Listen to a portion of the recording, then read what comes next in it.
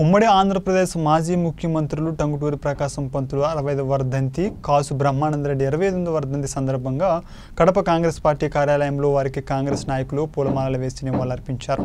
అనంతరం press meet ఏర్పాటు చేశారు. ఈ కార్యక్రమంలో PCC working president doctor Tulasireddy జిల్లా అధ్యక్షుడు నీలి శ్రీనివాస్ తదితరులు పాల్గొన్నారు.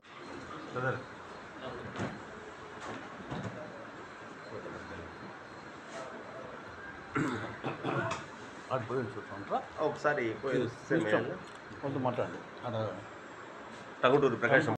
దండం పెట్టుకొని వచ్చి. రెడీగా ఉన్నారేం ప్రెస్ వాళ్ళు. ఉన్నారు కాబట్టి చెప్పేసి. అది- అది ఇంపార్టెంట్ దండం పెట్టుకొని వచ్చేస్తే ఒక పని.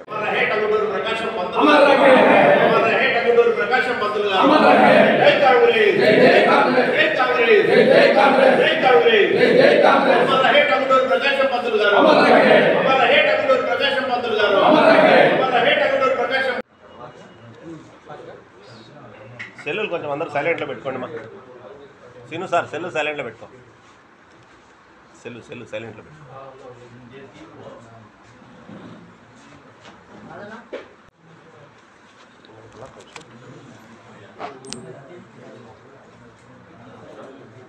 ఇక పోలవరం ప్రాజెక్ట్.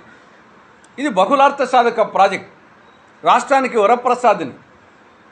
దీన్ని కాంగ్రెస్ ప్రభుత్వం యూపీఏ ప్రభుత్వం జాతీయ హోదా కల్పించి ఒక వరం వచ్చేసి రా కేంద్ర రాష్ట్రాల చేతిలోకి ఇస్తే కేంద్రంలో బీజేపీ మోసగారితనం ఈ రెండు ప్రాంతీయ పార్టీల చేతగానితనంతో అది నాడు ప్రశ్నార్థకమైపోయింది. కేంద్రంలో బీజేపీ అధికారంలో ఉన్నంత వరకు రాష్ట్రంలో ఈ యొక్క చేతగాని దద్దమ్మ ప్రాంతీయ పార్టీ ఉన్నంత వరకు ఆ పోలవరం పూర్తి కాదు. బీసీలకు సంబంధించి మేము ఛాంపియన్ మేము ఛాంపియన్ అని చెప్పేసి ఇద్దరు తెగ డబ్బా కొట్టుకుంటున్నారు. టీడీపీ వాళ్ళు వైకాపా వాళ్ళు. బీసీల ఓట్ల కోసం బీసీల ఛాంపియన్స్ అంట వీళ్ళు.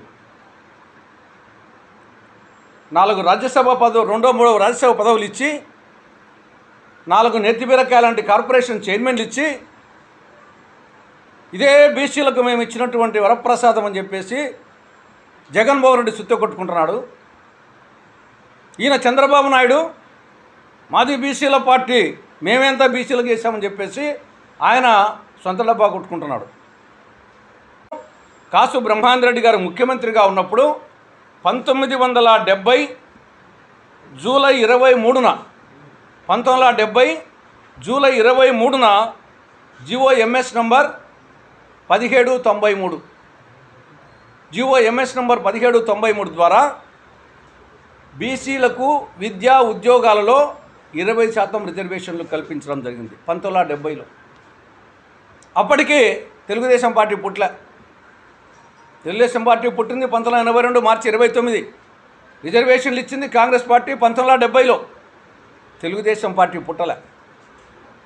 వైకాపా పార్టీ పుట్టలే. వైకాపా పార్టీ పుట్టింది రెండు వేల పదకొండులో. జగన్ పుట్ల.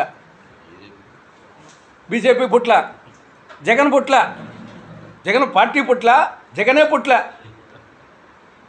అప్పుడే బీసీల గురించి కాంగ్రెస్ పార్టీ ఆలోచించింది.